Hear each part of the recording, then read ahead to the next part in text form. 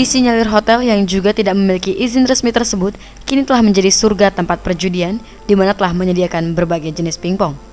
Di mana permainan ketangkasan judi tersebut dengan menembak salah satu nomor bola mulai dari angka 1 sampai 24 yang telah dipampang di dinding dengan layar monitor 32 hingga 40 inci. Tentu saja keberadaan tempat perjudian yang dibalut tersebut sebagai tempat karaoke dengan menyediakan miras telah mendapatkan kritikan dari Laskar Melayu Bersatu atau LMB. Saat dikonfirmasi terkait adanya praktik perjudian di Hotel Satria Tanjung Balai Karimun, Ketua Laskar Melayu Bersatu atau LMB, Datuk Azman Zainal sangat geram di mana untuk perizinannya itu Hotel Bintang 1 lalu berubah menjadi tempat yang tidak sesuai dengan perizinan, yaitu salah satunya tempat KTV dan juga sebagai tempat perjudian. Selain itu juga parkiran pengunjung sangat mengganggu pengguna jalan lainnya. Kita sulit ini, ya gitu. Kita bertanya masalah perizinan ada tak izin mereka? Hmm. itu dasarnya apa? Jadi dengan sampai soal perizinan nanti punya dampak yang parah yang tak disenang masyarakat.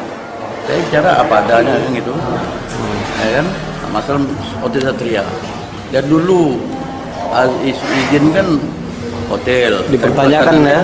Hmm. ya kedua baru ini pengunjung sama pengunjung berantem. Ya benar. Akhirnya kan nanti udah mati baru sibuk Ketua Laskar Melayu Bersatu atau LMB Kabupaten Karimun yang sangat menjunjung tinggi marwah Melayu di Kepri sangat menyayangkan dengan disediakannya gelanggang tempat perjudian dengan modus para pengunjung yang ingin bertaruh memasang nomor yang diinginkannya dengan membayar sebesar minimal Rp10.000 untuk sekali permainan dari setiap nomornya sehingga apabila nomor yang dipasang tepat dan keluar maka pengawas atau wasit akan membayar kepada pemain sesuai nominal pertaruhannya dengan media berupa kartu voucher sehingga diharapkan agar aparat terkait dapat segera bertindak sesuai dengan hukum.